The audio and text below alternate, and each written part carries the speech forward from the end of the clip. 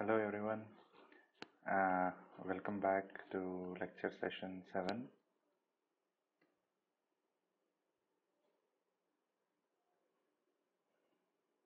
Hello everyone, welcome to lecture session 7 on uh, forced convective heat transfer. In the previous class, uh, we had established the basic fundamental concepts uh, that, that are required for our analysis of internal flow uh, forced convective heat transfer problem. We had discussed uh, the hydrodynamically fully developed flow situation, thermally fully developed flow situation, and the important concept of the mean temperature or bulk mean temperature. So we have uh, discussed all these concepts and uh, typically we have two boundary conditions which are very important from an uh, from an engineering application point of view which are of constant wall heat flux and constant surface temperature wall temperature boundary condition. So we have taken up these two boundary conditions and we have seen how the uh, mean temperature variation uh, happens in these two situations also. Okay. Now today let us start with an actual analysis of a uh, internal flow problem and let us obtain the value of Nusselt number. So if you recall Nusselt number should be a constant and we should obtain a constant value uh, after the course of analysis that we will be taking up. Okay. The first problem is that of a hydrodynamically and thermally fully developed flow between parallel plates with constant wall heat flux. So this is the problem that we are taking up. So uh, you need to note that the flow is hydrodynamically fully developed. So we are assuming that the flow is a hydrodynamically fully developed flow that is the velocity profiles are already developed. So we are not uh, considering the developing flow situation. So that is out of the scope. So we will only consider the developed flow situation. Okay, fully developed flow situation. Let us start the derivation.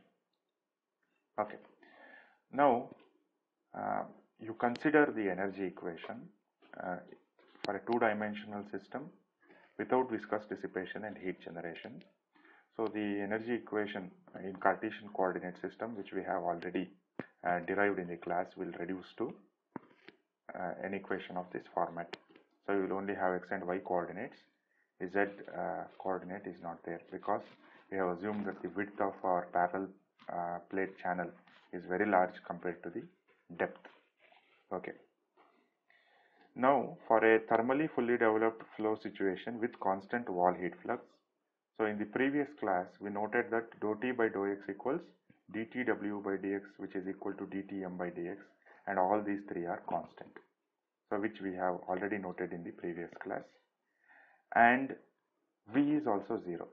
So this uh, uh, we discussed during uh, hydrodynamically fully developed flow situation that V should be 0. Okay. Now when this is the situation, so if you apply these simplifications to the energy equation that we have here, so you will end up with an equation of this sort. Okay. So now further if you introduce the non-dimensional temperature theta. So what is the definition of theta? So you can write theta as T minus T wall divided by T mean minus T wall. Okay, if you introduce this theta here, so you will have this uh, coming to balance the uh, differential. So your equation will come to this format. So we saw that in the previous class, so you can write dTm by dx using a overall uh, energy balance from by this expression. Okay. So this we have discussed in the previous session itself. So where P is the perimeter. Okay. So for mass flow rate m dot, so mass flow rate is nothing but rho. So if you have a pipe, so the cross sectional area A into velocity. What velocity is to be considered? So we will consider the average velocity. So the average velocity that is passing through this cross section. okay? So the average velocity is considered. Why average? Because the profile is parabolic. The velocity profile is parabolic with maximum velocity at the center line. So if i take maximum velocity i will get the maximum flow rate. So what i should do is i should take the average of all the velocities in the given cross section and which is given by the average velocity u bar. So that is why i have considered this. Okay? So dTm by dx uh, is given by q uh, wall heat flux into p by rho u a cp. Okay? Now let us continue this derivation. Let us substitute for dTm by dx. Okay? On substitution in the above equation and further simplification. So you can see that it will reduce to this format. Okay. U by u bar into qw by h where h is the depth uh, uh, above the center line. Tm minus tw into k d square theta by d, dy square. Okay. It varies on theta varies only with y. So when the flow becomes fully developed it is not a function of x anymore. So there is no need to write the partial differential. Okay. So u by u bar so q is nothing but h into tw minus tm so why tw minus tm it depends on how you uh, write the expression. So imagine this is our parallel plate. So if you are passing heat in this direction so this is our y-axis and this is the x-axis so if this is tw then your q should become tw minus tm this is tm okay? So on the uh, RHS it will become uh, tm minus tw into k into d square theta by dy square. Now if you rearrange the terms so finally you will attain this format now let us define a non-dimensional uh, value of y, y bar. Uh, sorry there is a typo here. It is not small h so it should be capital H y bar is y by capital H. So what is this? So if this is the parallel plate channel, so this is the center line, this is my y axis. So the y coordinate I am defining, so this is h and this is also h as per our definition. So this entire depth is 2h. So I am non-dimensionalizing y by dividing it with the depth h. Okay. So this is what. If you use this here if you substitute you can do this on your own. Instead of y if I make it y bar okay? So this term will become the Nusselt number. So what is the Nusselt number with respect to h? It is nothing but heat transfer coefficient into uh, h ik so you can do this on your own and check out. So this is the simplified energy equation which we need to solve to obtain the value of Nusselt number. You can see that already we have the Nusselt number in the equation. Only thing uh, now which is left out is to calculate its value. And you know that this is a constant also. From our preliminary analysis itself, we have established that the Nusselt number should be a constant value. Now our focus is to calculate that constant value. Okay, so the energy equation for a constant wall heat flux hydrodynamically and thermally fully developed flow situation is d square theta by dy bar square plus Nusselt number with respect to h into u by u bar equals 0. Okay. Let me erase this. Uh, yeah, proceeding further. Now, for a pressure driven flow which is uh, called as plane Poiseuille flow flow between two parallel plates. So which is um, uh, for an incompressible fluid laminar uh, situation you call it as a plane Poiseuille flow. The velocity distribution is already known. So this can be easily obtained from the Navier-Stokes equation. So I will not do it uh, here because our focus prime focus is on heat transfer. So you can easily take the uh, Navier-Stokes equation in the Cartesian coordinate system and apply the simplification and easily obtain this uh, velocity distribution. Uh, you take it up as an assignment because this is already done in fluid mechanics. I don't want to repeat this again. Okay, so we'll directly take up the uh, result of it. Okay. Now u by u bar is 3 by 2 times 1 by uh, y bar squared. Okay. So now what are the boundary conditions for the previous equation that we need to see? So the first, uh, let me draw the problem domain uh, for clarity. So we have these two parallel plates. Okay. So you are having a heat flux QW which is entering uh, your uh, parallel plate channel. So this is the axis, this is the y direction and this is x. Okay. Now when y bar equals 1, so when y bar equals 1, so this situation, what is y bar? y bar is y by h. So when will it become 1? When y becomes equal to h, that is at the wall. So y bar equals 1 at the wall. This is at the wall. Obviously theta will become 0. Why theta is t minus tw by tm minus tw. So at the wall t will become equal to tw. So this will become 0. So theta is 0. When is y bar equal to 0? So this is at the center line. This is at the center line or axis. Okay. So what is the boundary condition that is prevailing at the axis? The symmetry. It is symmetrical along y-axis. The entire velocity profile, if you take, so it is symmetrical. Even the temperature profile is also symmetric about the center line. So d theta by dy equals 0. This is how we will take symmetry. So there are two boundary conditions now. It is a second order differential equation. You can easily solve it. So on solving this, so how do you solve it? Substitute uh, the velocity profile which is 3 by 2 times 1 by uh, y bar squared in the previous expression here. Uh, sorry, here. You substitute for u by u bar, okay, integrate it twice. You have two boundary conditions. Determine the constants c1 and c2 it is not a very difficult uh, integration that you need to do. So when you do that simplification so you will end up with a result like this please do the integration yourself if you uh, get stuck or if you get any doubts you can always write to me and get it clarified so i have given the result for your uh, comparison and uh, checking out whether you have done all the steps properly so this is what you will get. What is this now?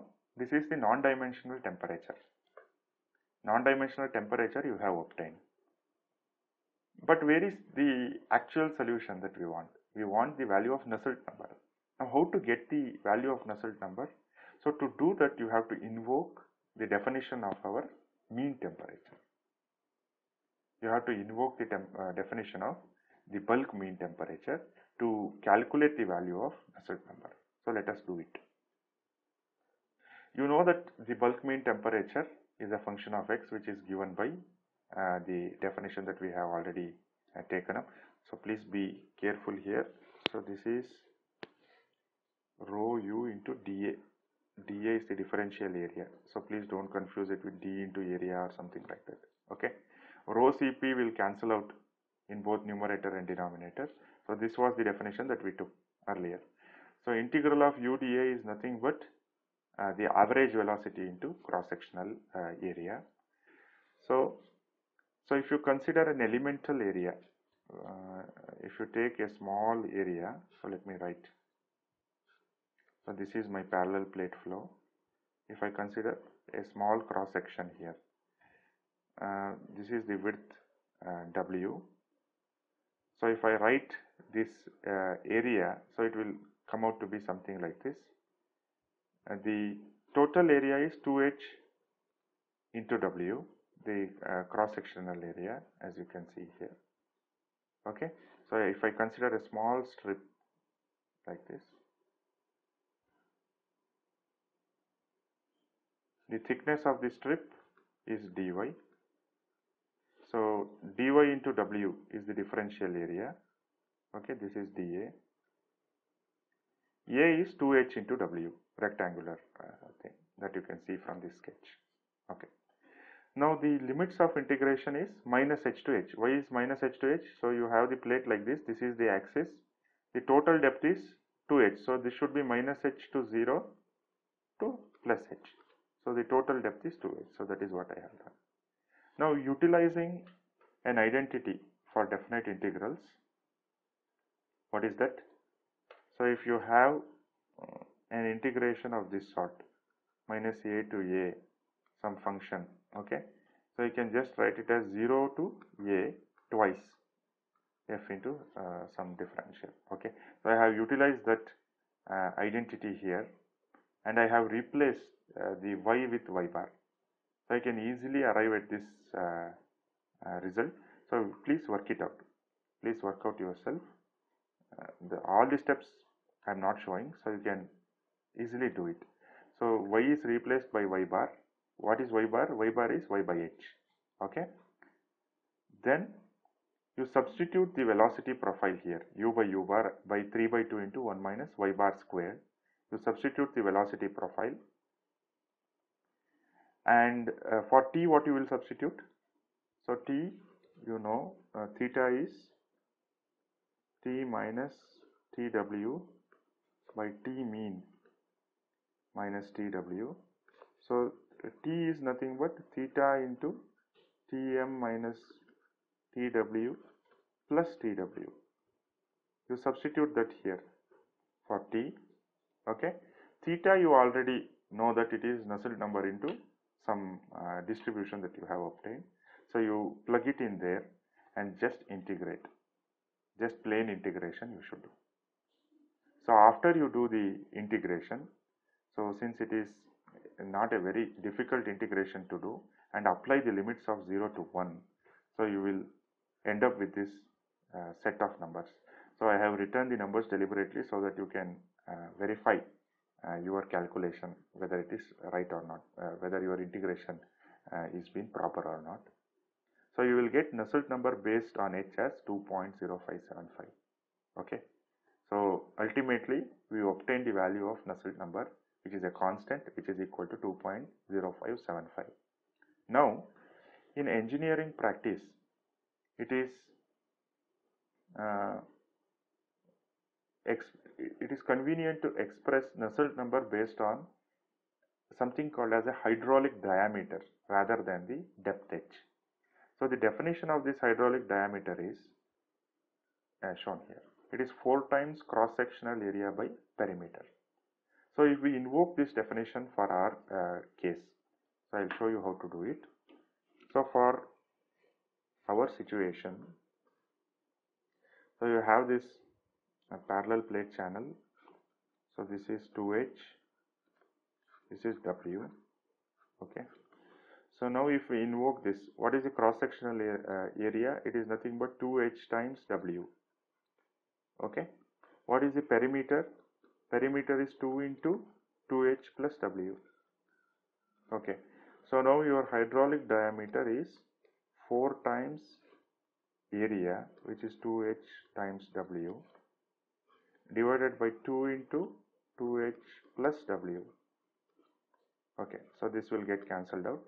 Since we have assumed that w is very large compared to h so this thing can be replaced by w so you will have 4 times h so this is the hydraulic diameter for our uh, problem okay so 4 times h if you substitute and if you calculate the Nusselt number, Nusselt number with respect to hydraulic diameter. So this is h into dh by k where dh is nothing but 4 times h. So this will become 4 times Nusselt number based on h. So that is what is written here. So you will get 8.23. So this is the answer for our uh, problem. So for a constant wall heat flux uh, boundary condition a hydraulically and thermally fully developed laminar flow will yield a Nusselt number of 8.23. Okay. Similarly, you can calculate the hydraulic diameter whenever you have a cross section which is not circular. Okay. For a circular cross section what will happen? So we'll see quickly. So if you take a circular cross section 4 times pi d squared by 4 okay. What is the perimeter? Perimeter is pi d. So you can see that for a circular cross section the diameter itself is your hydraulic diameter. For any other uh, shape of cross section like a square so you need to just substitute the cross sectional area and the perimeter. Okay? So this is the first case of constant wall heat flux. Now let us go to the second uh, boundary condition which we had considered which is that of constant wall temperature. Let us see what uh, will happen to that problem. Hydrodynamically and thermally fully developed flow between parallel plates with constant wall temperature boundary condition. So this is the uh, second case. So let us take this. Okay, again the energy equation for a two-dimensional uh, situation without uh, viscous dissipation and heat generation is this. Okay. For a constant wall temperature situation, we already uh, had done our preliminary analysis. We showed that dou T by dou X is theta into dTm by dx and V is 0 for hydrodynamically uh, fully developed flow. This is for hydrodynamically and this is from hydrodynamically fully developed flow assumption. Okay. Now if you substitute this okay and assume that there is no axial conduction uh, which is negligible. So your uh, equation finally so uh, what happens when you assume axial conduction is negligible? So this term dou square t by dou x squared will become 0. Okay. So this is the term which is related to conduction along the axial direction. So this will become 0. Okay. So your equation will reduce to this format. So this is the uh, simplification and again by invoking the uh, overall energy balance so which we have done in the previous session. Overall energy balance so you will have that uh, dTm by dx is wall heat flux into perimeter by rho average velocity into area by Cp. Okay. Now let us further analyze this situation and see what uh, we will get. So the only change that you are now seeing is the presence of this theta on the LHS so this is the only difference uh, when you compare it with the previous case. So if you do that, you will realize that this is the only thing that is coming as an extra. Okay, now on substitution and uh, simplification on the same lines that you had done for the previous case. So you will have the final expression which is given by this. So this is the final form of your uh, energy equation for a constant wall temperature boundary condition. So again here also uh, this y bar should be y by capital H. So y bar is y by capital H. Okay. So this is the final form of the energy equation and this needs to be solved to get the Nusselt number. But unlike the previous case, now this is not solvable analytically. So you cannot solve it analytically. Why? Because of the presence of this theta here. So which makes it impossible to get an analytical solution. Then how to get the value of Nusselt number? So you can go with a numerical solution. You can invoke a numerical solution to obtain the value of Nusselt number. So which uh, I cannot discuss uh, in this uh, course. Okay. So the above ordinary differential equation cannot be solved analytically. So let us, uh, this needs to be solved by a numerical approach. So which is um, a shooting method.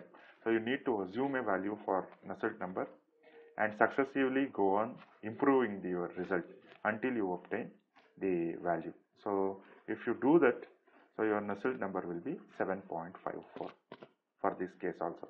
Obviously, in this case also it should be a constant, but the nature of the equation makes it uh, analytically impossible to solve.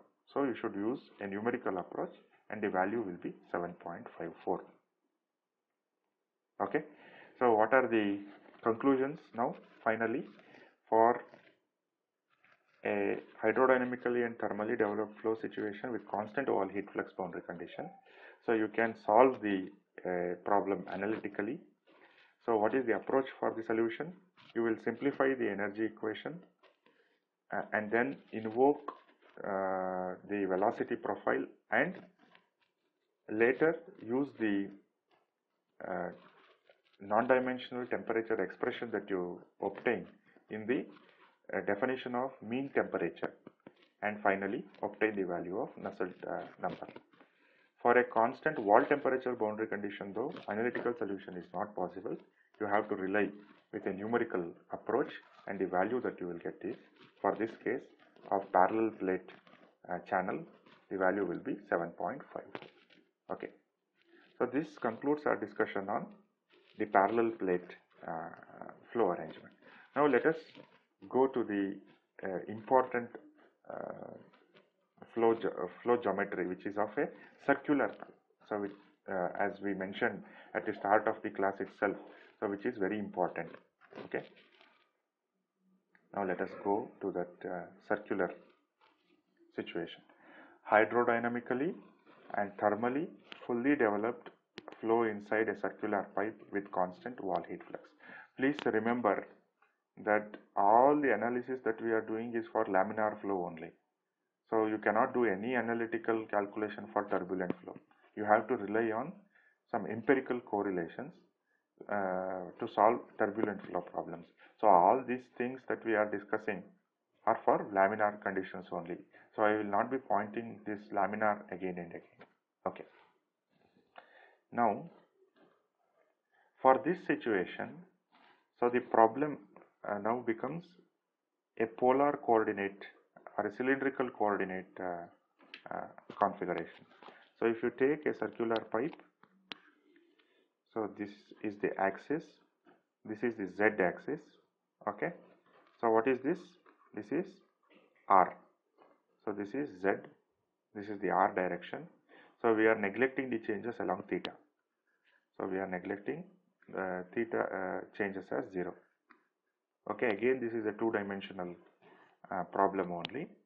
So no viscous heat dissipation no heat generation. So this equation i had given um, while we discussed the energy equation. So i have taken it directly. Qualitatively, physically, all the concepts hold good between the previous discussion that we have had and for this situation also. Only thing is uh, the variation for a constant wall heat flux with respect to x we had taken. So x where x was the axis. For this problem now, since z is the axis, you need to replace x with z. So otherwise everything else is same. Okay. Now the velocity along the y direction for the previous case is v uh, uh, replaced by vr velocity along the radius so this is 0 so same uh, concepts will hold good here also only thing is you have this r into dou t by dou r this term is different now if you take a spherical system so this will become r squared and this is also r squared so that is the only difference why is this term actually originating? Because of uh, if you take the uh, the control volume, the differential control volume, so the area along the uh, radius is 2 pi rdr. So that is the reason why uh, this is coming. So you can check it out uh, while deriving the terms for that. Okay. Now again let us uh, simplify the expressions that we have got the energy equation that is. So after simplification and again uh, the dTm by dx uh, is the same. So sorry in this case it should be replaced with dTm by dz. So this will not change. This is dz. Sorry for the error. So this is d into z dTm by dz because uh, the x of the previous problem is now replaced with z. Uh, uh, mass flow rate is rho u bar into a all these things are same okay only thing is you have to uh, substitute appropriate uh, values of values which are corresponding to a circular cross section. So here a is pi d squared by 4 a is pi d squared by 4 and perimeter will become pi d unlike uh, the previous case that we have discussed. Okay. Now let us define a new non-dimensional uh, radius as r bar which is given by r by capital R. Okay. Where r is the radius of the pipe. So if I write it so this is your pipe this is the axis this is capital R. This is capital R and this is the z direction. Okay? Um, now substituting and again uh, doing all the simplification so you will end up with this expression. Okay? Uh, finally you will have this expression so you can see that this is very similar to what you obtained uh, in the previous case for parallel channel flow only thing here uh, the change was d square theta by dy squared plus u by u bar into nuh equals 0. This was the equation for parallel plate channel. Now you can see this term is different. For this case it is replaced by this okay y bar and this is similar exactly similar. NUD is Nusselt number with respect to diameter HD by K okay otherwise it is very similar to the previous case. What is this flow configuration called? You have already discussed this extensively in uh, fluid mechanics course, Hagen-Poiseuille flow. So this is Hagen-Poiseuille flow and you know the velocity distribution for that. I have I am directly taking up the result. So if you want to derive this, you can easily get this by using the polar uh, Navier-Stokes equations. Okay, so I am directly using this result V by Vz by average uh, velocity mean velocity v bar is 2 into 1 minus non-dimensional radius squared. So I'll use this distribution here. The approach is the exactly the same. So what are the boundary conditions? So when r bar equals 1 that is at the wall theta is 0 at the center line that is when r bar equals 0 d theta by dr bar is 0 due to symmetry. On simplification you will get this uh, velocity profile. That is you have to integrate the uh, energy equation twice invoke these boundary conditions get the value of the constants so finally for comparison I have given you the result. Okay? Again you cannot find Nusselt number uh, directly from this uh, expression. So you need to invoke the definition of bulk mean temperature. So you do that the simplification is shown here. So 2 by sorry here also there is a, a small typo. So this is what is this? This is dr so here it is correct. It is dr r by capital r is r bar. So 1 r i have sent it inside. 1 i have retained. So into uh, dr bar. So this is the final uh, integral that we have to tackle. Okay. Let me erase this.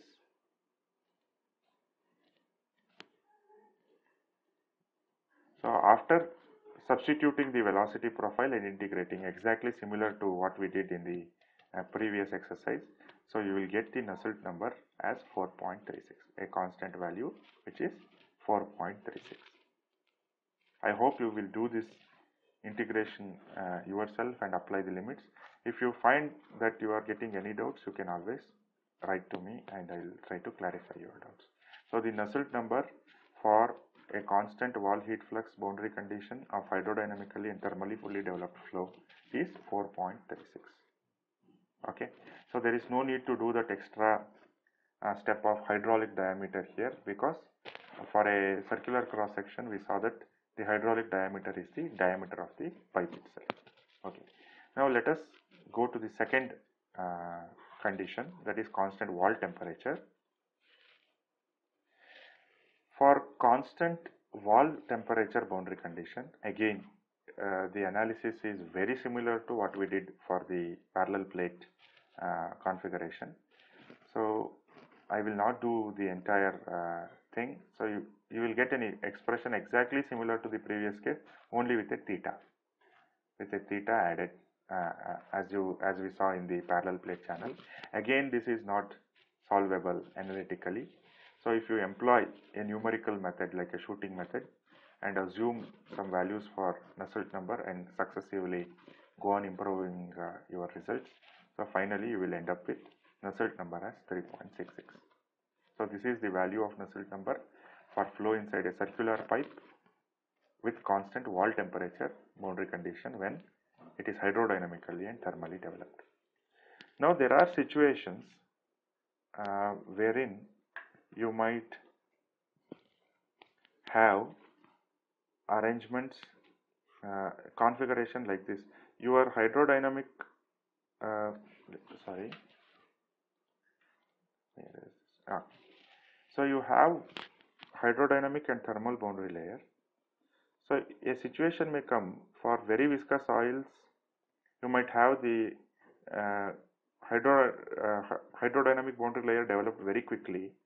And the thermal boundary layer is developed at a very long distance after your uh, this is hydro, uh, hydrodynamic uh, fully developed flow situation.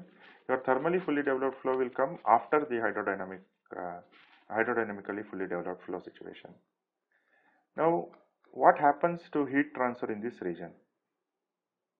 So these type of problems uh, in this case particularly it is called as a thermally developing flow.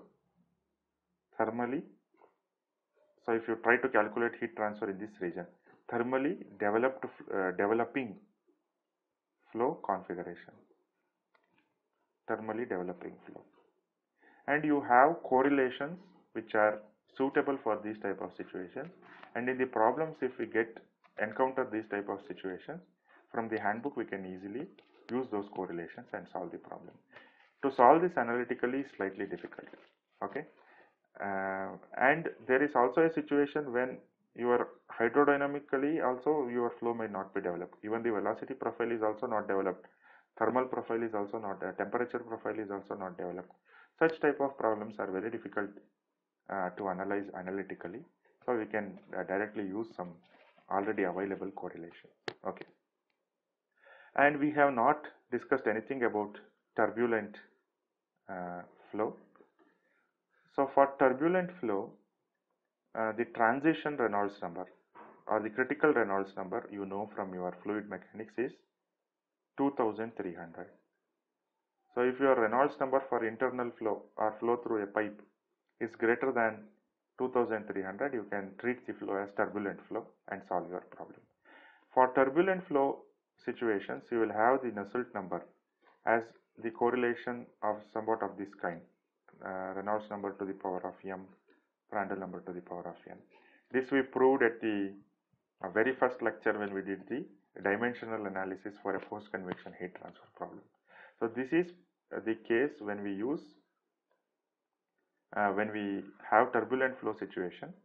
You have many uh, correlations which are used in industries uh, in practical engineering applications wherein uh, Nusselt number in general uh, is of this nature.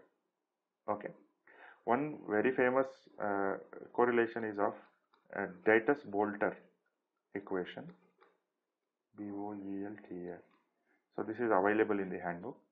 Sieder-Tate equation is also available. So we will use those co empirical correlations whenever we have turbulent flow uh, in our uh, problem. Okay? So with this so let us conclude uh, this lecture session.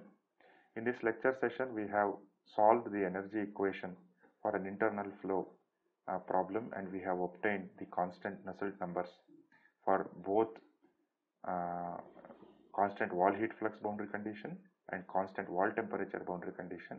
And we have also seen the analysis for a circular pipe and uh, we have noted down the uh, value of Nusselt number. We have derived the values for Nusselt number uh, for a circular pipe uh, which is Hagen Poiseuille flow also.